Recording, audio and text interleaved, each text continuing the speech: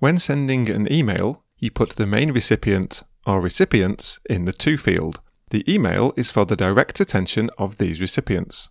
You can have as many email addresses as you like in here, but you must have at least one. Every recipient in the To field can see all the other addresses in the To field. When you put an email address in the CC field, you're not addressing them directly in the email, just sending them a copy for their information. You can have as many email addresses as you like here, including none. Every recipient in the To field and every recipient in the CC field can see these email addresses.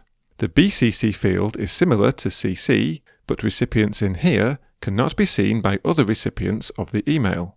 BCC recipients can see those in the To and CC fields, but not the others in the BCC field.